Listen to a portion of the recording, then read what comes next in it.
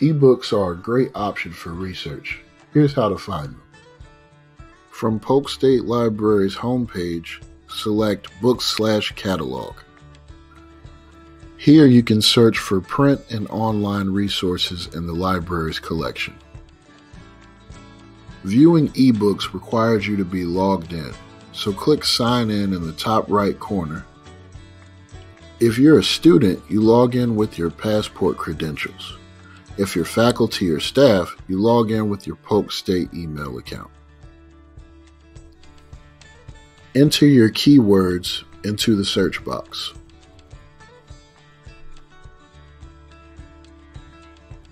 Note that the library catalog option will give you books and ebooks, while e-resources will show you only online content. You can access an ebook by clicking the available online link.